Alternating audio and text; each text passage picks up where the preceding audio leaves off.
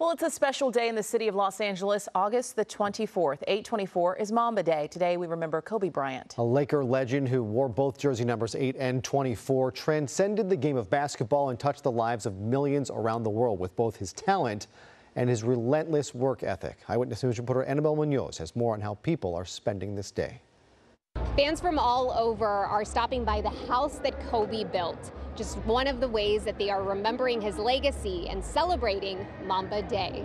Yeah, for sure, for sure, Whether it's admiring the statue cementing Kobe Bryant's legacy or shooting hoops, Rod, if you can't make half court, I'm going to make you dunk by the end of the night. Generations of fans are commemorating Mamba Day. I bleed Mamba, everything Mamba. If you know me, I'm Kobe Bryant to the day I die. This couple with matching tattoos in honor of Bryant drove from Bakersfield, lining up to take a photo with the recently unveiled statue in honor of Kobe and his daughter Gianna Bryant. I'm watching him play since I was a little kid and telling my kids about him and like just seeing his daughter grow up from a like a baby to the age she was when we lost her. It's just it's crazy and just emotional, but I look at my daughter and I I want that much more for her. Vanessa Bryant shared this photo on Instagram yesterday on what would have been Kobe's 46th birthday with the caption, I love you for now, forever, and for always.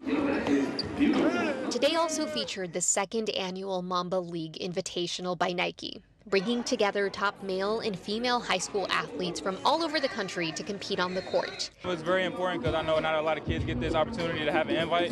So, I mean, to play in Kobe's name in his honor uh, is a great thing to do. I love being here because these people love Kobe as much as me. And these girls are amazing, girls and boys.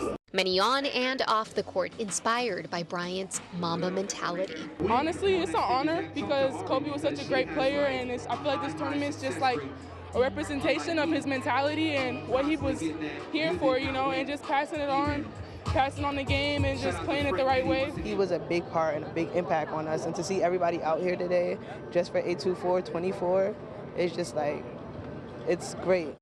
We're told that more than 4,000 people registered to attend this year's Mamba League Invitational. Hello, I'm Marc Brown. Get more great ABC7 content by clicking the subscribe button for our YouTube channel and download the ABC7 Los Angeles streaming app on Fire TV, Android TV, Apple TV, and Roku to watch on your TV.